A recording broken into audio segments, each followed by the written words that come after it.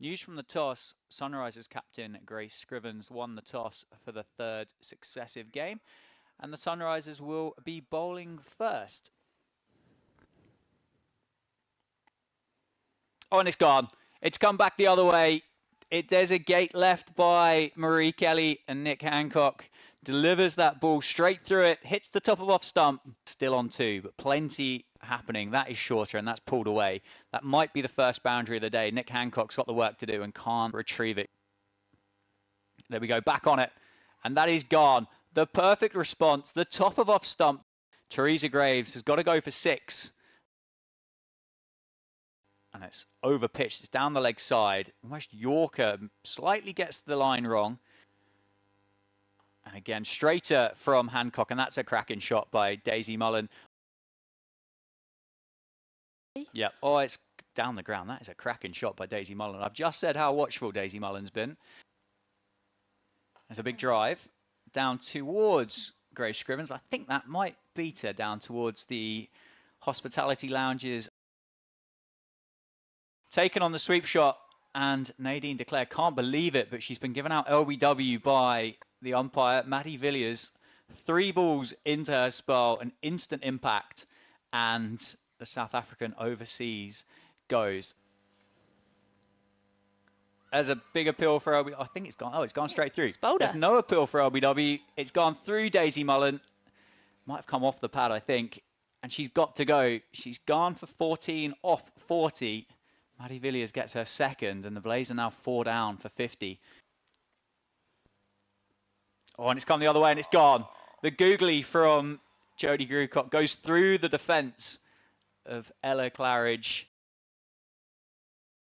Oh, it's gone straight. Oh, no, it's nicked off. Sarah Glenn's been given. It's a great catch by Amara Carr. I just had to have a little look at the bails to make sure they hadn't moved. And Mady Villiers gets her third wicket. She's three for three of 3.2 overs.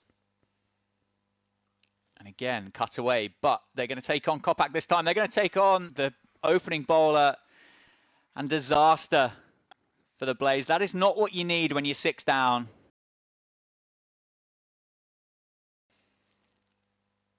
And it's Yorker length. She's gone aerial into the leg side, down towards deep mid wicket. It's going to beat Jo Gardner, who gives chase. And it's a short ball that doesn't quite get up, and Kirstie Gordon does really well to turn that round the corner. Looking good at the moment. And that's gone straight through Kirstie Gordon. That one has come back into the Blaze captain as we've seen so much from Coppack. Down the ground again, and well, it's not far away. It's going to beat two diving Sunrisers in from the Graham Gooch end, returning into the attack. Short ball. That's pulled away by Higham, who picks out the fielder at deep backward square. Instant impact. Nick Hancock comes back into the attack. Short ball. Higham happy to take it on. Oh, it's gone. Nick Hancock picks up the last wicket. Cassidy McCarthy just lasts two balls. She walks at the Australian.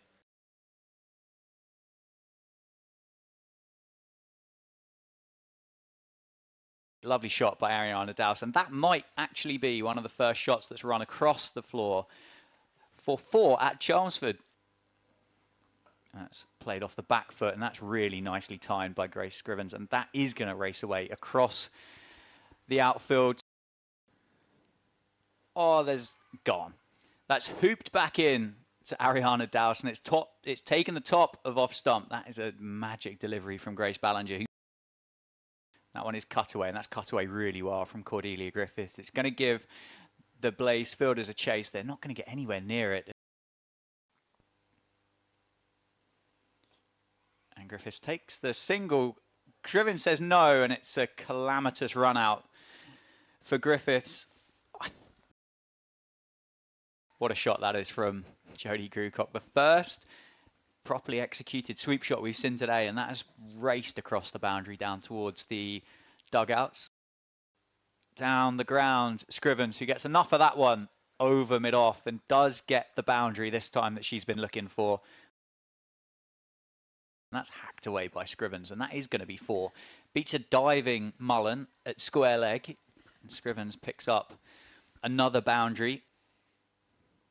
down the ground, uses her feet. Grace Scrivens gets that just wide of Sarah Glenn, who's going to give chase down to the boundary.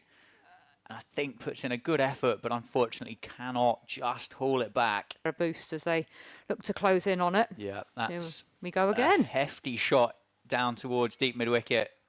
Glenn stood no chance on that one. So, um, yeah, quite a few of them have spent some time out there. Unfortunately, holes out to Daisy Mullen. That field has just come back into the circle.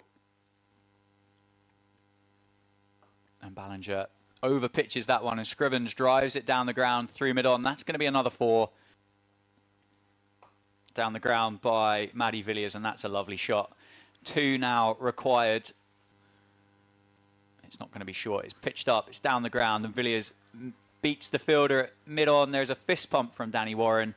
Four runs and the Sunrisers are victorious at Chelmsford in the Rachael Heyhoe Flint Trophy. Back to winning ways for the Sunrisers. A magnificent performance with the bat by their captain, Grace Scrivens, who finishes 46 not out. And Mady Villiers hits the winning runs with a couple of boundaries.